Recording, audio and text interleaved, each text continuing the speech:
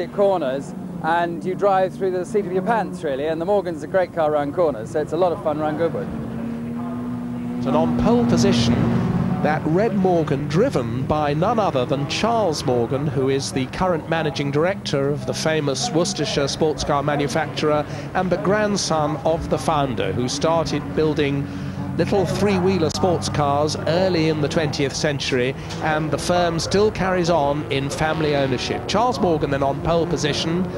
Stuart Graham, the motorcycle TT rider, great motorcyclist and a great historic driver these days, is in the middle of the front row in his Austin Healey 100S and another Morgan on the outside is the pale blue Morgan belonging to Doug Blaine. So it's Morgan, Austin Healey, Morgan, the front row, and an all MGB second row. The green car with the orange stripe is Colin Pierce's, and the red one with the white roof is that of Barry Sidery Smith, the famous genuine X-Works Le Mans car. On row three, that silver Mercedes, just going through the picture now, the Open 300 SL, dubbed the 300 SLS because it's a modified race-going version of the luxury convertible Tourer, which is what the gull-wing Mercedes Coupe changed into towards the end of uh, the 1950s to please the American market.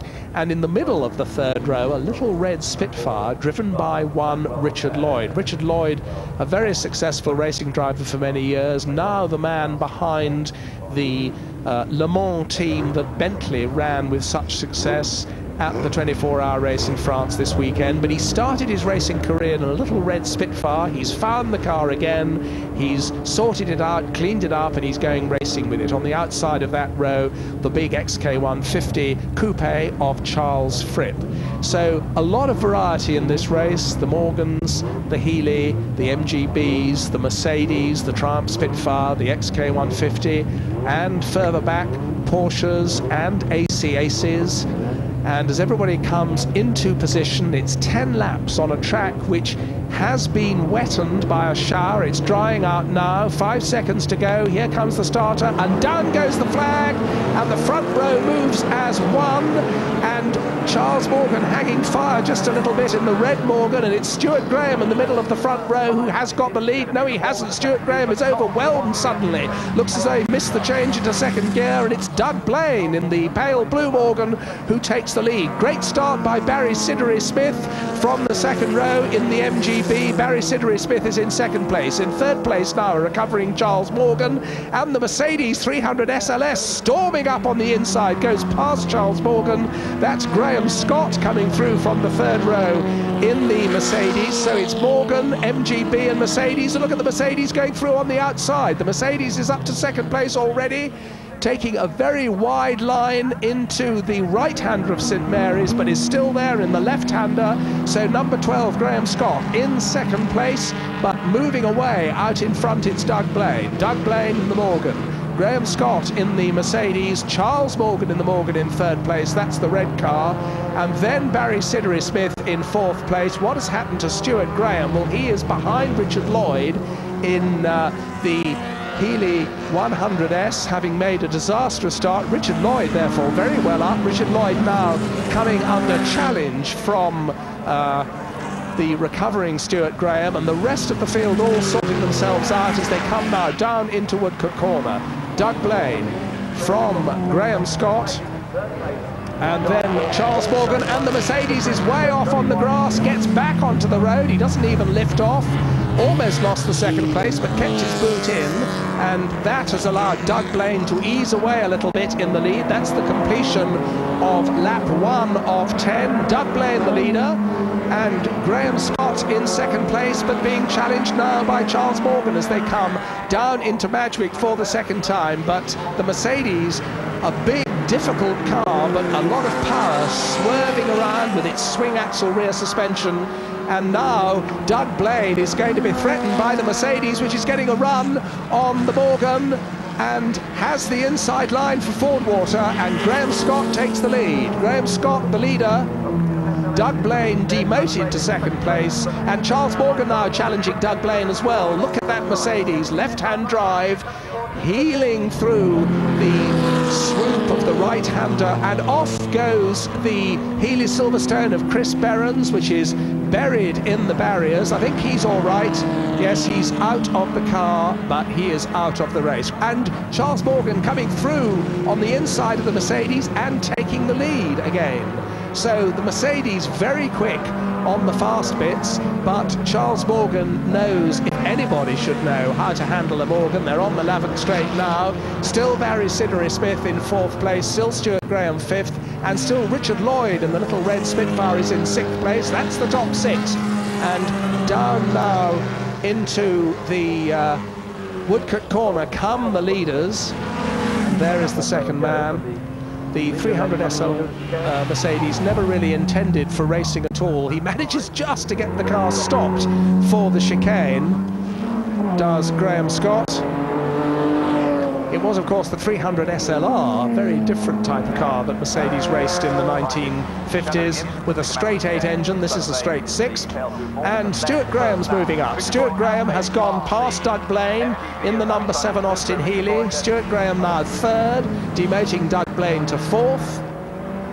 Stuart Graham, a tremendously skillful driver, so quick on two wheels uh, some years back when he was a Works International Grand Prix motorcyclist and TT winner.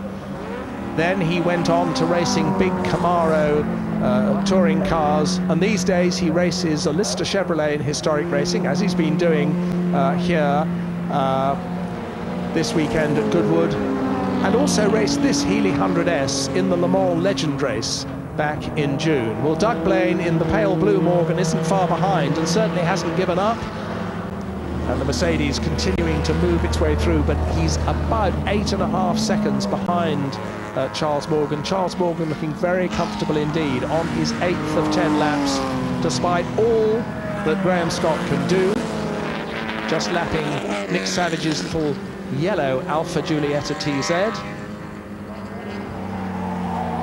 And a lot of tyre squeal from that big Mercedes, very much a touring car, not intended for racing at all, but obviously turned into an effective piece of racing kit by Hans Kleissl, who owns this car and has invited Graham Scott to drive it today. Stuart Graham, actually in third place, is starting to catch him a little bit. The leader, meanwhile, on his final lap, a big sideways moment there for Graham Scott in the big Mercedes. And they've got some more back markers to lap. The back markers keeping out of the way but this could be Stuart Graham's opportunity. Out of Fordwater down to St Mary's. Is that AC keeping out of the way? Yes.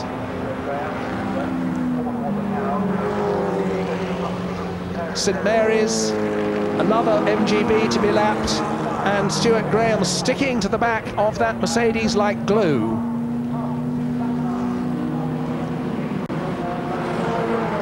He's got Lavant corner, and if he can get ahead at Lavant before the Mercedes can use its power on the long Lavant straight, then he could be well placed on this final lap. Charles Morgan, meanwhile, going down towards the finish as Stuart Graham tries to creep closer. It's going to be difficult for him to get a toe off him down the straight because that Mercedes has a lot of power. There is Charles Morgan in the chicane for the last time. The checkered flag is waiting for him. Another family affair for Charles Morgan, who crosses the start-finish line to win the Fordwater Trophy in his Morgan. And now, what is Stuart Graham going to be able to do? The Mercedes is weaving about. There's Vanessa Finborough's AC Ace in the way, and I don't think there's anything that Stuart Graham can do. He just waves a little hand in resignation. He tried all he could do, but the Mercedes does get the second place. Graham Scott, absolutely delighted, raises his arm aloft, and Stuart Graham has to be satisfied with third place. Very satisfying win for Charles Morgan, showing that the product of the family firm was pretty good back then and is pretty good now. It was. Uh